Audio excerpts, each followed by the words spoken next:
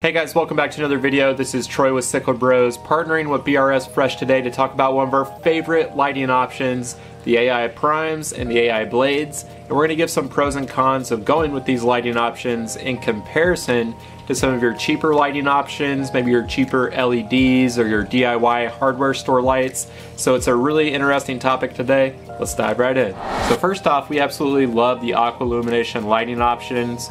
First off, we have the AI Prime 16s on my 150 gallon tank here. That's been up and running for about two and a half years. They look absolutely beautiful on this tank.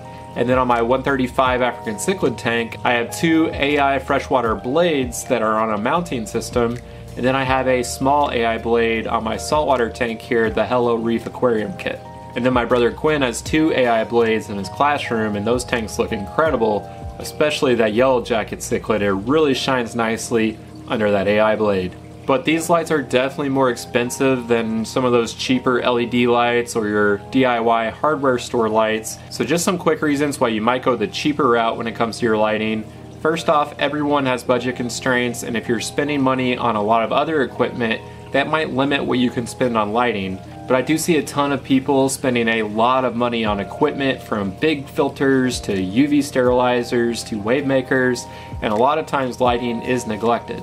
And maybe you just like the DIY nature and process of things, and if that's the case, absolutely go for it. Another big reason is if you have a ton of aquariums, maybe a big fish room, a breeding facility that you're trying to make money from, a lot of times those types of tanks won't have the really nice lighting that makes the tank look great. So those are just a few reasons why you might go the cheaper route. Now let's talk about why you might want to go with some of the nicer lights out there, the top tier lighting in my opinion, the aqua illumination lights. So first of all, lighting is one of the most overlooked aspects of an aquarium setup and it literally impacts everything you see in your aquarium, so it's super important. Some of those cheaper lighting options out there just don't show off the fish color or the vibrant greens from your live plants both the AI blades and the AI primes can give that natural shimmer effect in your tank. This is one of my favorite parts of these lights, especially in my 150 gallon tank here with the AI primes. There's an awesome shimmer that goes throughout the tank and I get asked about it all the time. It definitely sets this tank apart. Also, aqua illumination lights are super powerful and can grow even the most difficult plants out there. My lights here are turned down really low and still light up the whole tank and provide plenty of lights for my plants and in my saltwater tank for my anemone. But one of those most overlooked aspects of aquarium lighting is just the overall aesthetics to your aquarium. It really can set off the overall look of your tank. Most of the cheaper LED lights will lie flat on tank lids, like in my 180 gallon tank here, but I never really get asked what light I'm using on that tank.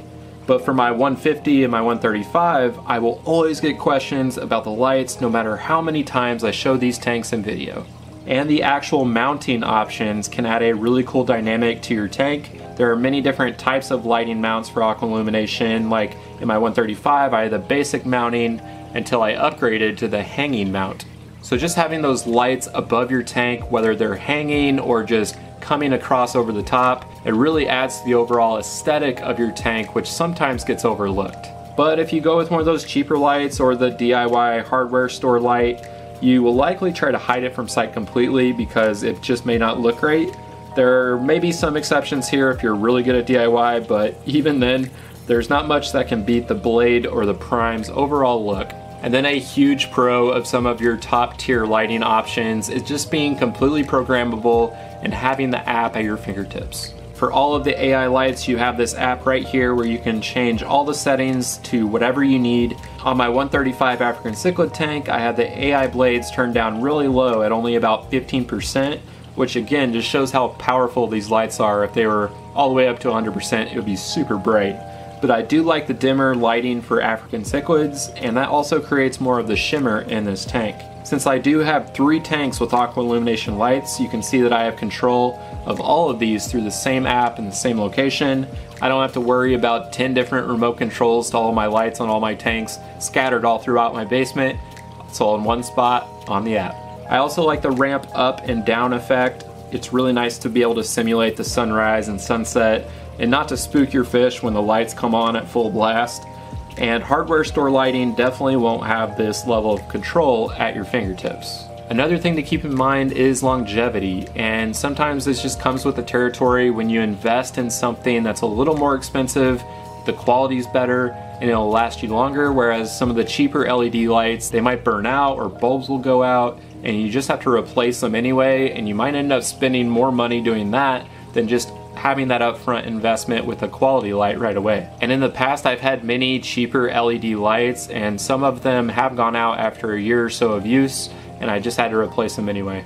But overall, your aquarium lighting impacts so much about how you view your tank and just the overall look of your aquarium setup. It is definitely an investment for one or more of these lights, but I do see hobbyists spending so much money on other equipment that it always seemed odd that lighting was one of the things that got neglected sometimes.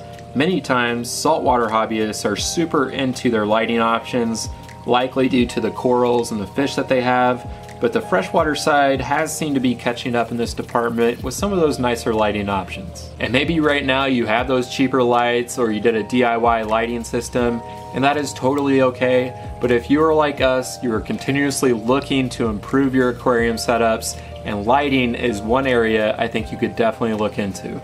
And just as an example, when you look at this 150 gallon tank with the AI Prime 16s, it was definitely hard to choose to invest so much in lighting but once you look at this tank, you can just see it's worth every penny. So that's just a quick overview of the Aqua Illumination lights, the AI Primes, and the AI Blades, some of the lights that we've enjoyed for many years on our own aquariums. I hope you enjoyed seeing the pros and cons of going that route versus one of your cheaper routes with cheaper LED lights or your hardware store lights. And if you have any questions, leave them down in the comment section below. Thanks again for watching. See you next time.